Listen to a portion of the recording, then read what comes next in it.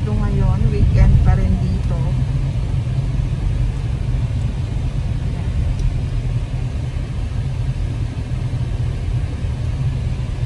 Minsan matraffic, minsan hindi. Ayan.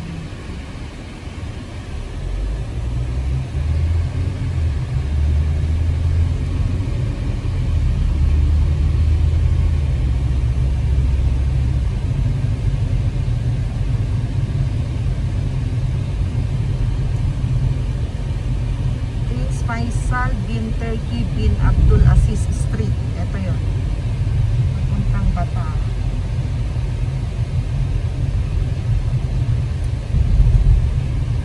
Ayan, mga buildings.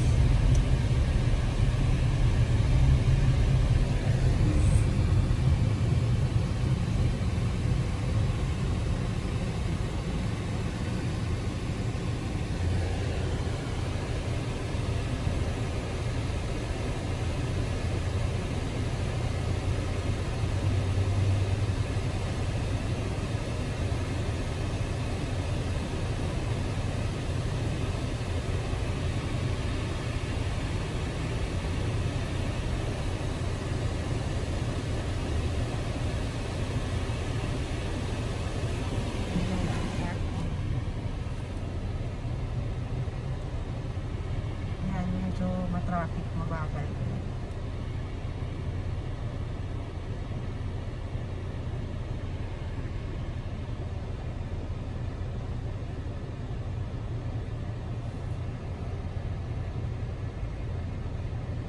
Hmm. Kahit mayaman ng Saudi, may mga namamalimos pa rin. Yan. Oh, go na, go.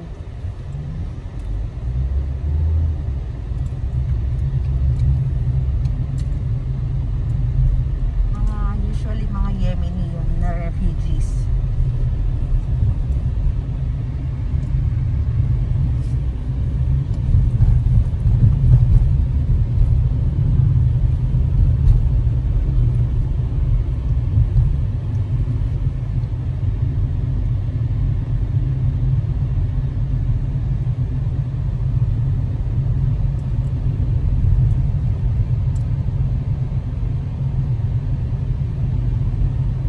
minsan kasi nagre-crave ka ng mga Pinoy foods. Kaya sa Pinoy supermarket lang tayo nakakabili. Minsan wala din kasi sa ibang ano, supermarket. Kaya punta tayo dito mga mula sa bahay. Ah, ilang minutes? More or less. 20 minutes no? Yan, mula sa aming bahay, papunta dito sa Batha, super, ah, Batha Center. Alam to ng mga taga Riyadh o galing sa Saudi dito yung tambayan ng mga Pinoy dito sa Riyadh.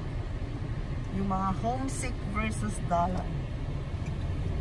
Yan, dyan sila nagtambay